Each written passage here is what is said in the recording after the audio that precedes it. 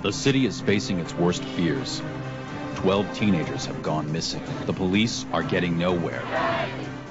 But we don't want the media all over everything, so tell Lindsay, no press releases, not yet. But an investigative reporter isn't buying the story. It's time to do an investigation on the police. They're fumbling the case on these missing kids. Now, it's anyone's game. This is a power grab. We need an arrest, Inspector Brodsky. Brunel. It's in a multiple murder investigation. The one thing no one can deal with is the truth.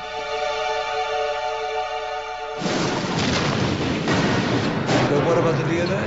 You lied to me! What you've done is horrific. You back off!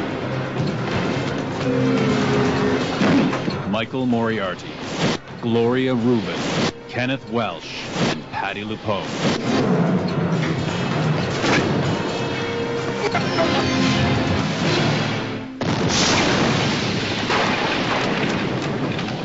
Happy anniversary, Brodsky.